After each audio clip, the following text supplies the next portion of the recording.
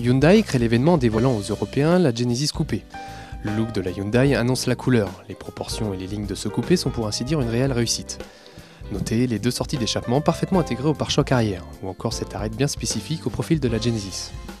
Deux motorisations essence sont au catalogue. Vous aurez ainsi le choix entre un V6 de 303 chevaux ou d'un 4 cylindres 2 litres turbo de 210 chevaux. Ici, le 2 litres nous a à peine convaincus. Certes, le 0 à 100 km/h est avalé en 8 secondes, mais l'agrément de conduite est décevant, tout comme sa sonorité d'ailleurs.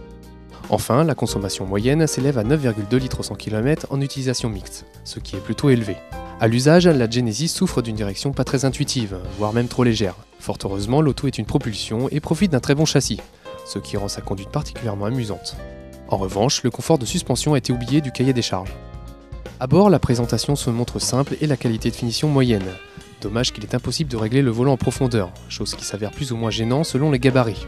A contrario, la commande de boîte tombe facilement sous la main.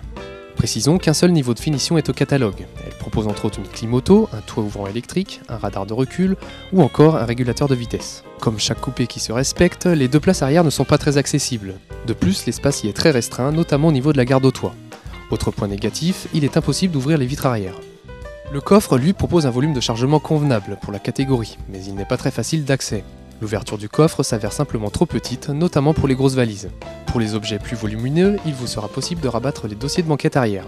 32 990 euros vous seront réclamés en échange de la Hyundai Genesis Coupé 2 litres turbo contre 35 990 euros pour la version 3 litres 8 V6 de 303 chevaux.